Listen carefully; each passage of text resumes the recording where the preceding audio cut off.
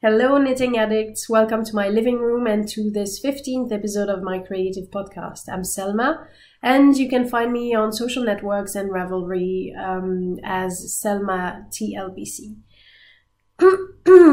Sorry, I hope you're well. Um, as you can probably see and hear and everything, I'm not at the top of my game today. Sorry, I got a cold. So, um, yeah, I got a cold. I'm tired, so I have a sore, and I might cough at some point. I will try drinking tea all along the, the podcast in order to limit the coughing, but if it happens, please excuse me because it's completely out of my control sometimes. So, um, today we will talk about sewing, knitting, and some crocheting. Crocheting? Crocheting? I don't know. If you do, please let me know. Um, that's part of the subtleties of the English pronunciation, which I absolutely don't master. Um, I'm going to try new things today um, in the editing. So if you like them or if, you, or if you don't, please let me know. That way I can adapt and yeah, twitch things as I go. It's still a work in progress, this podcast. So today I have quite a few finished objects to show you. The first one is sewing and it's shorts. It's the Brooklyn shorts by Mouna Sew. I bought the kit at the Création et Savoir-Faire um, fair. In the kit you had the fabric, the thread, the buttons, and the, well, the zip. And interfacing and lining. Yes, that's it. So Brooklyn is a sailor mid-height short. It is perfect for classy and comfortable style to wear with tights in winter or with your beautiful legs in summer. Well, let me tell you that for now it is definitely with tights because here it's not exactly freezing, but it's quite cold and rainy. So thank you, Paris, for that. So the shorts. I love them. Let me tell you this. I love them. Sorry about the change in lighting is the problem with dark darker fabrics. The fabric, I have no idea what it actually is, but it's very, very nice. I love this texture, texture and the contrast between the shiny parts and the matte ones. It has an invisible zipper on the side, which was obviously a new thing for me. And yeah. I'm sorry because I really don't. Um, I'm, I'm quite sure I have no idea how these are actually called. I can tell you the French word, but it's not going to help, I'm afraid. Um, so, yeah, it took me like seven hours, I think, excluding the cutting of the of the fabric, obviously, but yeah, I started. I wanted to finish this one by the end of January, and I finished it on the first of February around half past two in the morning. So let's consider that I actually made it. Uh, yeah, there was a lot of um, seam ripping and uh, resawing, and yeah, but uh, I learn as I go, and I like a challenge. So it was my first invisible zipper and my first no, it was not my first of these, but this was definitely a new thing for me.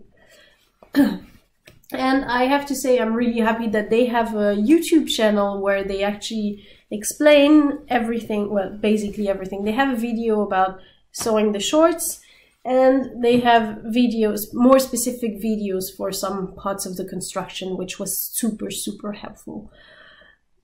I don't think, well, the, the written explanations are quite clear, to be honest, but some things were just too um, abstract for me, you know, like you need to saw a straight line, then cut in the corner, then turn something 180 degrees, but honestly, I had no idea what exactly I was supposed to turn and what it was supposed to look like in the end. So the video was excellent. Yes. Um, I will put a short video about showing you how it fits. It makes some some wrinkles in the front, but to be fair, I don't really care. Um, I think it fits quite well. It doesn't pinch me in weird places, and it's just, yeah, it's not perfect. And I don't think I will be making new shorts anytime soon, or even pants for that matter, because it's um, it's a bit out too out of my comfort zone. But it was a good experience, and uh, yeah, I'm glad I made it. so um, that was the first sewing project. The second one is super small and was super fast. I whipped it yesterday night. I went back to uh, fabric tissues for a lot of reasons, including the fact that these don't end in trash. Um, I'm not zero waste by by well any standard, but I'm trying to I'm trying to uh, let's say uh, yeah well I'm trying to reduce what we actually throw. So um, fabric tissues was were were good. So, so I made this small pouch pocket with um, waxed fabric inside because, well, I always have fabric tissues on me, but I don't always have pockets, so I'd like to keep them at hand in my handbag without actually having them in the handbag, you know? Well, gathering dust or leaving germs everywhere, that's a bit disgusting. So this will be easier to just put the, the tissue in, be it folded fresh or used, and uh, and yeah, just put it in the bag afterwards. That way it doesn't run around. My tissues, basically, I use them one day and then they go in the laundry, so there is no problem with hygiene, generally speaking. And this will be easier to clean and to um, and to dry as well with the waxed fabric, I think. So yeah, that was just a small thing also, it's good practice. So it's a win-win thing. I'm sorry. Um, concerning my work in works in progress, because that's everything. Oh no, no, no, no, no. I'm sorry. I didn't talk to you about any knitting projects. I finished two actually. The first one is the Fleesensee hat by Verena Cohrs. Um, I'm going to show it to you, even though it's it's going to ruin my hair. I know it will because it already did after I did the French version of the podcast. So, yeah, here it is. Super nice, super snug, you know, keeps my ear ears warm. Uh, it was provisional cast on, and I folded it and knitted them together so that the the border is fixed. And um, but there are also instructions in the pattern i told you so but well, in case you just want to make a regular border which you will fold and and just fold every time you put it on um, it's the same designer as the lan hat the the cream one which i showed you lately so you have the same kind of slanted stitches there um, they take a bit of getting used to, but the result is really nice. Those ribs look gorgeous. Beautiful. Uh, yeah, you always work with pairs of stitches actually, so um, I think to go to the right, you stitch two together, then you stitch the first one again. Well, then you, no, no, you knit two together, then you knit the first one again, so you have two, and then you have two in the end. And for the left ones, I think you knit the second one through the back loop and then you knit two together through the back loop again. And that's how it looks like. Yeah, the, the pattern is super clear, super easy to follow. The explanations are really great. So it was a very pleasant knit. It took me less than a week, but these are, well, these slow me down definitely. So that's why I wasn't as fast as for this second hat, which I made yesterday. No, not yesterday. Day before, the day before yesterday? Yes, the day before yesterday. It's called the Short Rows Sideways Hat by Kristi Porter, I think. It's a free pattern. I found it on Ravelry. Super, super easy. I will show you. This one is not for me. It's going to be for um, um, our knitting for the homeless operation. So I will just wash it after I show you. I haven't yet. Yeah, it's snug and warm and it covers everything, even if you have a slightly bigger head than mine. Oh gosh. Things you do for podcasting. Um, yeah, so basically it's knit in short rows. You start with, that's why it's knit this way. Well, on the side and not top, no, bottom up, or however you want to call it. So you knit 35 stitches, then you need 34 in your turn, then 32, then 30, then 28, etc., etc., to down to 22, and then you start again with 35. And you make eight rays, let's say. I chose to make a um, three needle bind off because I suck at grafting. Sorry, I suck at grafting. I can't do a proper seam for the life of me, so I decided to go for something visible but good looking. yeah, you can just wear in the back anyway, so it doesn't matter, and the inside looks nice as well. It would probably be reversible anyway. And I think it's going to be easy to adapt to smaller sizes for kids versions.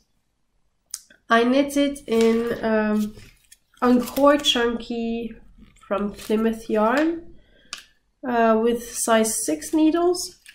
It's 75% acrylics, 25% wool. It's definitely not something which I would um, go for naturally, but I think I got it in a swap or something. So yeah, whatever. It's going to hold well thanks to the acrylic um, volume, let's say. And honestly, that's what matters most for that kind of project. I will probably make a new one, well, another one, but a smaller one with what I have left.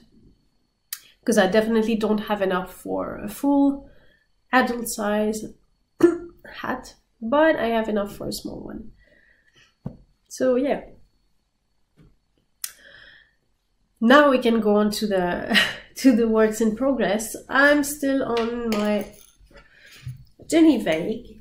Yeah, the yarn ball was trying to escape. um, well, it's going well. I have no idea how many rep repetitions of the pattern I have done yet, but I spent two hours in the waiting room of the doctor two days, well, yesterday, and um, yeah, I did some progress then. And I got quite a few compliments in the meet as well, so it was nice. Not the waiting part, but the rest was okay. Mm, um, on to my fourth bowl, bowl of yarn, and I have nine in a hole, so I'm not exactly 100% confident that I can actually finish it by the end of the month, but I will do my best. I need to focus on that one and stop being distracted with smaller stuff or other stuff for that matter. I also went back to my pavement sweater by Veera Välimäki, but I, well, it's somewhere on the sofa, and to be honest, there's not that much to be seen. I just made 20, well, I just need 10 more centimeters of, of, um, of um, stockinette stitch, so nothing, not much to see, to be honest. I will show you next time when I have made, well, hopefully more progress. I am hoping to finish it before Edinburgh Yarn Festival. Wish me luck. Yeah, I think I will have to make a choice as, at some point between which one I actually want to finish before the festival. Because I don't, I think I will have trouble with the Dunyvaig to actually finish it by the end of February, which is a shorter month. I should remember that. Um, but the sweater might work. I don't know. We will see that. Uh, I have one other work in progress, which is crochet, which never happens. It's a hat and it's super basic. I uh, took the pattern from a beginner's crochet book, which I got this week. easy crochet. In case you speak French, to be honest, I think this is one of the best ones. It's super, super clear, super easy to follow, and um, the the the photos are great. It's very progressive, so you even if you are a complete beginner, you can definitely find your way through the book. You know, I'm knitting, um, I'm I'm crocheting this with the Rico Design Fashion Highland Tweed Chunky. Got that in a box, subscription box, a couple of years ago, maybe more. It's acrylic virgin wool and viscose. It's a number, it's a size 6 crochet. Yeah, it's really basic. It's just black with some speckles of color. There's mustard, purple, blue. Yeah, it's nice. This is going to be a children's size though, because the pattern calls for a size 10 crochet, but I didn't have any yarn big enough for that. So I went for a size 6 and a smaller size. I will show you the result next time. That's all for the works in progress. Um, I received this week two patterns which I ordered from Colette Patterns. That's the Aster blouse, shirt, and the Moneta dress. I ordered the fabric for these two as well, and I will pick it up somewhen this week when I have time because it's arrived already. I'm going for a nice dark chambray for the for the blouse and for and uh, Milano knit for the dress. I, have taken a look at the, the explanations already and they seem to be very clear and uh, I think I'm going to have a lot of fun. This one is going to be my February project. Um, well, I think that's it for this week. There are just two more things which are going to happen in case you're in Paris, well, in the next three weeks. And there's the Aiguille en Fête fair next week in the Porte de Versailles. Sorry, uh, I will be there on Thursday, but and also probably on Saturday. So if you want to hang out, if you're going there and uh, yeah, you want to grab a coffee or something, just let me know in the comments and I'm sure we will find a way to actually do that. I would love to meet with some of you if you're in the area. It's uh, it's going to be huge because it has 140 vendors, I think. It's mostly a mess. but I hope that they made the same kind of effort as they did for the the fair, which happened in November, where the the hall was bigger and you had more space to walk around. So yeah, I'm keeping my fingers crossed for that. Last time I checked, there was no map available yet. And It's a bit complicated to actually look for vendors in their vendors list because it's so big and so unorganized.